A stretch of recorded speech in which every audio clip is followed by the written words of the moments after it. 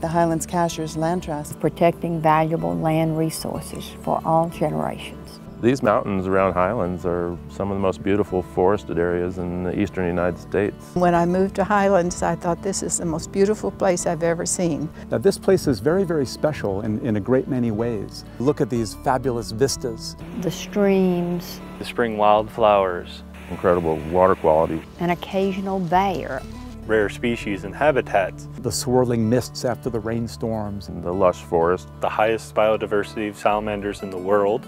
There's some very important biological resources. This is a beautiful little spot in the world. Among the most diverse and beautiful places in all the temperate zones of the earth. And certainly makes this uniquely uh, worthy of our, of our care and our conservation.